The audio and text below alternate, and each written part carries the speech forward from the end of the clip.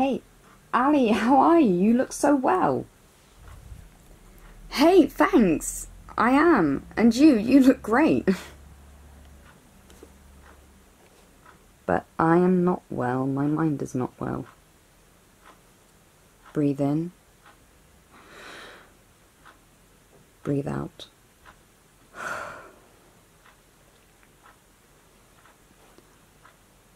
My mind is split directly in half, one side good, one side bad. They fight and punch and kick and scream, both when awake and when I dream. Fight, sleep, wake, repeat. Oversleep and not enough sleep. I want to leave, I want to flee, an absentee. My mind starts spinning. Stop! Count to three. Breathe. Stand up, walk away from reality. Breathe. What is make believe and what is real? Which are the feelings that I really feel? Before every single bloody meal, I want to heave and cry, conceal and die. I live a lie, and they think I try. I do try to breathe.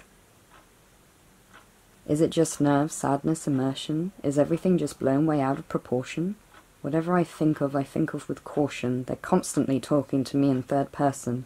I need to find some sort of endorphin, diversion, punish.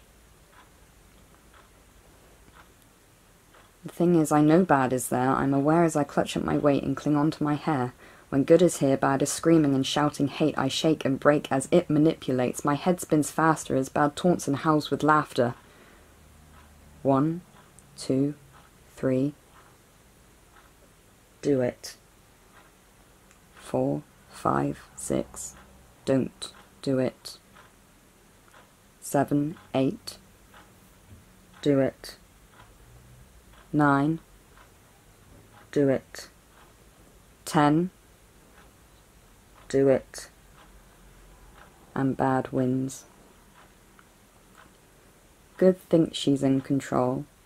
Help me, she'll say. But bad says I deserve this and says stay away. This is how you want to be. This is you, and this is me, and together we can never be free, bound by the uncertainty of what you think and what you feel. You love me, you hate me, and I know you'd love to kill me. Because without me, you know you would be better. You'd feel airy and high and as light as a feather. Your life would be a hell of a lot better. Punish. How dare you even discuss such a thing? Look at your life. You're lucky. Stop whining. Just eat and smile and forget what you're feeling. Forget all your goals and stop with your healing. You're stuck in this hole and I'm keeping you there. Swear and stare at the wall and prepare. Beware.